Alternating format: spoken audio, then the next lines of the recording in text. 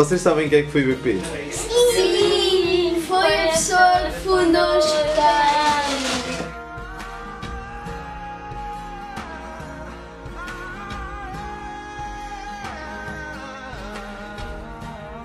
Robert Stevenson Smith Baden Powell, ou como conhecemos BP, nasceu a 22 de fevereiro de 1857 em Londres. Quando era pequeno, participava com os seus irmãos em excursões de barco, onde aprendeu a acampar, a cozinhar e a obedecer às ordens. Aos 12 anos recebeu uma bolsa na escola de Charterhouse, uma das escolas mais famosas de Inglaterra. Na escola ele não era dos alunos mais brilhantes, mas era bom a desenho, a desporto e a teatro. Junto à escola havia um bosque que era vedado aos alunos. Foi aí que BP aprendeu a conviver com a natureza.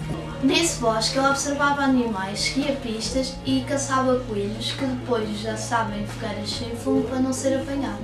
Aos 19 anos, quando saiu da escola, BP entrou para o exército e foi colocado na Índia. Como era um bom militar e se distinguia entre todos, aos 26 anos já era capitão.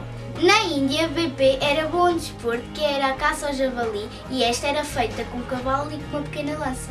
Antes mais tarde, lutou em África contra as tribos matabelos, zulus e ashantis. Chamavam-lhe Impisa, o lobo que não dorme. Isto porque ele era um habilidoso explorador muito bom a seguir pistas. Em 1899, BP foi chamado a Mafeking para defender a cidade dos Boers.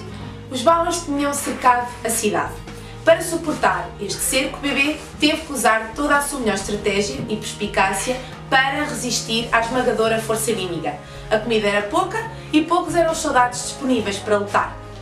Então, durante 217 dias, BP um, conseguiu que os ingleses um, resistissem aos ataques dos Bounty.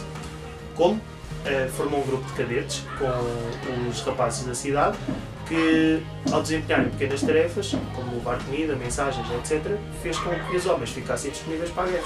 BP ficou impressionado com a maneira como os rapazes cumpriam as tarefas e também com a sua grande coragem e responsabilidade. Uh, anos mais tarde, este acontecimento teve grande importância na criação do, do escotismo. Após a grande vitória no cerco de Mafeking, BP foi promovido a Major-General, sendo o militar mais novo de sempre a conseguir este cargo. Quando chegou à Inglaterra, era visto como um herói nacional aos olhos Já em Inglaterra, BP descobriu que o livro que ele tinha escrito para o exército estava a ser muito lido pelos rapazes nas escolas. Foi aí que BP percebeu que poderia ajudar a juventude do seu país, estando longe de imaginar que iria criar um movimento que juntaria de pessoas por todo o mundo. Lentamente, BP foi desenvolvendo a ideia do escotismo. Para testar esta ideia, ele levou 20 rapazes para a ilha de Brownsea em 1907 para realizar o primeiro acampamento da história do escotismo. Este acampamento foi um sucesso e no ano seguinte publicou aquilo que hoje conhecemos como escotismo para rapazes.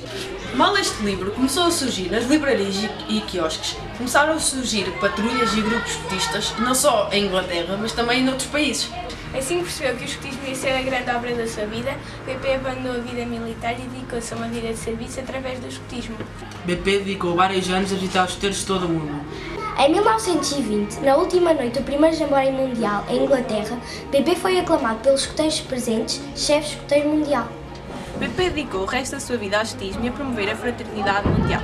Ele acreditava que não havia um melhor caminho para a paz do que o escotismo. Quando as forças começaram a faltar, BP mudou-se para o Quênia, que era o seu país favorito. BP morreu aos 83 anos de idade, a 8 de janeiro de 1941.